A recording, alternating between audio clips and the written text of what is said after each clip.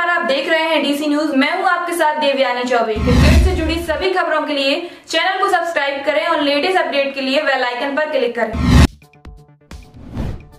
रोहित शर्मा बोले, लॉकडाउन खत्म होने तक किचन का मास्टर बन जाऊँगा। टीम इंडिया के उप कप्तान रोहित शर्मा ने कहा कि लॉकडाउन के दिनों वह घर पर रसोई में कामकाज में खूब हाथ बटा रहे हैं। रोहित ने कहा है कि उन्होंने पहले कभी भी रसोई में पैर नहीं रखे थे। लेकिन अब लगता है कि लॉकडाउन खत्म होने तक वह रसोई के मास्टर बन जाएँगे। कोरोना वायरस के चलते देश में तीसरी बार लॉकडाउन की मियाद बढ़ा दी गई है। इस घातक महामारी को हराने के लिए सभी लोग अपने घर में बंद रहकर खुद को सुरक्षित कर रहे हैं। ऐसे में ज़्यादातर सेलिब्रिटी घर में कामकाज में हाथ बटा रहे हैं। और जो काम पहले उन्होंने कभी नहीं किए, उसमें भी महारत हासिल कर रहे हैं।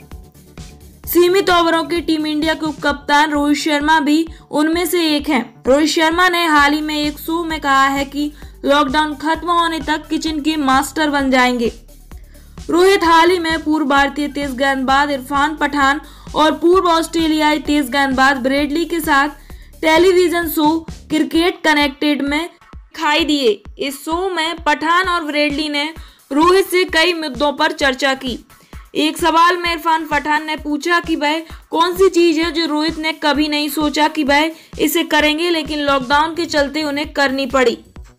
इसके जवाब में रोहित ने कहा वह किचन का काम है। वह मुझे हर तीन से चार दिन बाद रसोई में जाकर चेक करना पड़ता है कि कितना ज़रूरी सामान उपलब्ध है और बाज़ार से क्या क्या सामान मंगवाना है। इतने सालों में मैंने कभी भी किचन में पैर नहीं रखा था, लेकिन अब हर तीन चौथे दिन ऐसा करना पड़ता है। अब लगता है लॉकडाउन खत्म होने तक मैं इसमें मास्टर बन जाऊँगा।